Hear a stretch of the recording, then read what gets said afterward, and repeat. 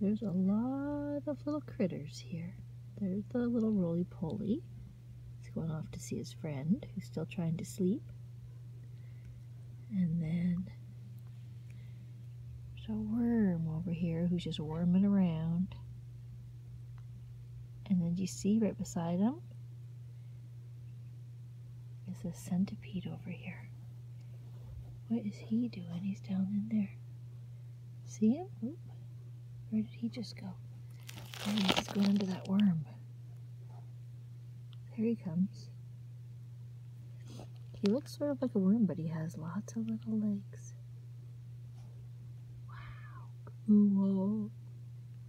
So all I had to do to find that, these little guys, is to move a bucket that was sitting on the ground all winter.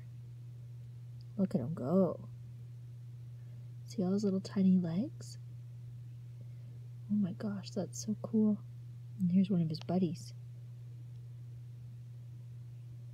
Ooh. Oh, there goes other roly poly. And a worm friend.